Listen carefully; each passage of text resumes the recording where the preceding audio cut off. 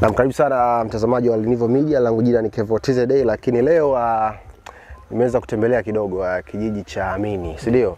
Eh, mkoani Morogoro. Na kuna mambo mengi ya, ya, ya, ya, ya kustajabisha kidogo ambayo yapo katika sehemu hii, na nipo hapa uh, na ndugu yangu atanieleza. Hapa kuna nini hapa Kinole am, uh, Amini, Amini, mm. eh, ambacho ni cha ajabu ambacho hakipatikani katika sehemu nyingine. Kuna historia gani hapa? Uh, historia ya hapa kijiji cha Amini Mm. inzi ya chifu Mm. kulikuwa na jiwe moja sasa hivi linaitwa Kijiweni. mm. Zamani likiwa jiwe maarufu linaitwa Manumvu. Mm. ilo jiwe lilikuwa likifunuka, watu wa, wa asili au wazee wa mila wakawa wanaingia hapa Mm. eh. Kwa hiyo kwa hiyo uh, jiwe likifunuka inakuwaje? Yaani watu wana, wa, walikuwa pia wakishuhudia au e, watu walikuwa wakishuhudia mm. e. na sasa hivi limeacha Sasa hivi uh, limeacha e. kutokana na nini? Ah, kutokana na kwanza mila yenyewe sasa hivi akawa watu wanaifanyaje, wanaidharau Wanaidharau. Yeah. Kwa hilo zamani li, li, li- linafunuka kwa ajili gani? Kwamba eh, watu wakitoka wakipita pale ni lazima wafanye nini pale? Hapana, yaani kama kutakuwa na tukio la ajabu linatokea e, sawa, akija chifu pale sawa, akifanya maombi yake au vipi, linafunuka lile jiwe, Mm. wakija hapo watu wanaingia kwenye jiwe, Mpaka chifu aje. Wakiingisha gia kwenye jiwe inakuwaje? watu wakija pale wakiwatafuta hawawaoni, Hawaoni. hawajua kama wameingilia wapi. Mm. Jiwe la maajabu. Yeah. Kingine cha pili katika kijiji hiki cha Amini ni nini? Eh, kingine kwanza, kutokana na jina la Amini lilivyopatikana Ndio. Baada ya mzungu alivyokuja akiishi hapo kanisani kitongoji cha Masalawe Mm.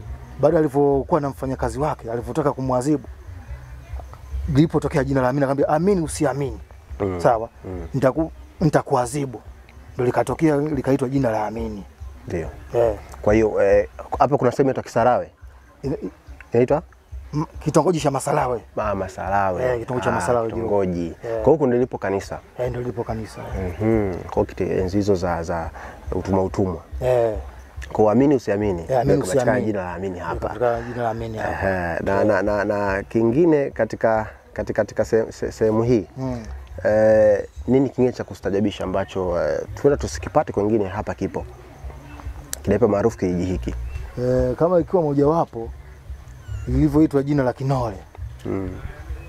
kulikuwa na jiwe, kila mkulima akipita Mm. akawa ananoa mundu au kifaa chake cha kwenda shambani mm. Mundu mnavyoita huku au ndio jina jinsi lilivyo Sisi tunavyoita huku kwetu Mundu. eh, mundu ya kufyekea Eh, ya kufyekea Ndio. basi tunasema eh. eh. Baada ya watu wakaenda mashambani wakawa wananoa, likapatikana jina la Kinole ambayo ndio lipo kijiji hiki cha Amini, ndio ikatumika kwa kata nzima, kata ya Kinole. Hilo jiwe hadi sasa hivi ni bado lipo, lakini halitumiki.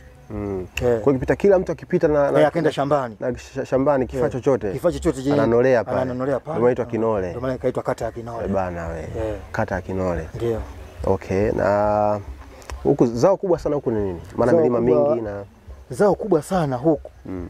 ikiwa mojawapo ni ndizi, iliki, ndizi gani- ndizi gani hizo ndizi aina ya mtwiki au malindi. Malindi Yeah. kwa nini inaitwa mali, mali, au ndio jinsi inavyoitwa malindi watu wanaita ndizi mshale sio ndizi nini. kwenye ndizi malindi na na mtwike. Na mtwike. Kweli hasili hiyo kweli sijapata mzee wa kuniambia. ndio ndio Eh, uh, shukrani sana ndio. nakushukuru sana Sawa. Barahini wa Nivo Media na leo nilikuwa huku Amini Sawa. eh, kata ya Kinole Ndio. eh, Morogoro huku vijijini si ndio Ndio. shukrani sana ndugu Sawa. Ah, kwa majina naitwa Jumanne Kasim. Jumanne Kasim safi sana